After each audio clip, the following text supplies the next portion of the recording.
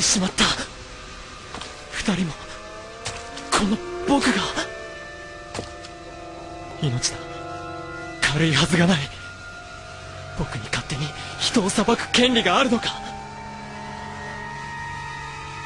や違う。いつも思ってたことじゃないか。世の中腐っている。腐ってる奴は死んだ方がいい。誰かが誰かがやらなくてはいけないんだ。自らの精神や命を犠牲にしてでもこのままじゃいけないんだ。もし他の誰かがこのノートを拾ったとしてこの世に不必要な人間を消すことのできる奴がいるかいるわけがない。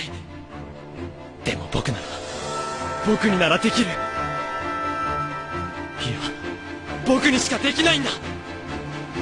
やろう。デスノートで。世の中を変えてやる。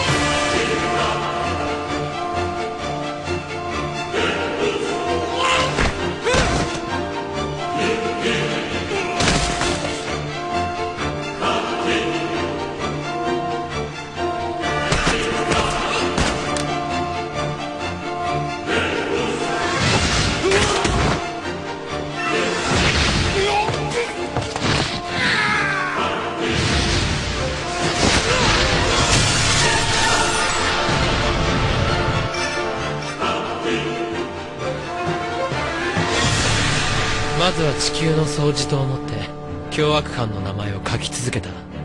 やがて誰も悪いことができなくなるように。そして罪を受けて当然な悪人が心臓麻痺で死んでいく裏で道徳のない人間人に迷惑をかける人間を病死や事故死で少しずつ消していく。そうすれば確実に世界はいい方向に進んでいく。そして僕が認めた真面目で心の優しい人間だけの世界を作り上げていく。そんなことしたら性格悪いのお前だけになるぞ。何を言ってるんだ？リュ僕は日本一と言ってもいいくらいの真面目な優等生だよ。そして僕は新世界の神となる。やっぱり人間って面白い。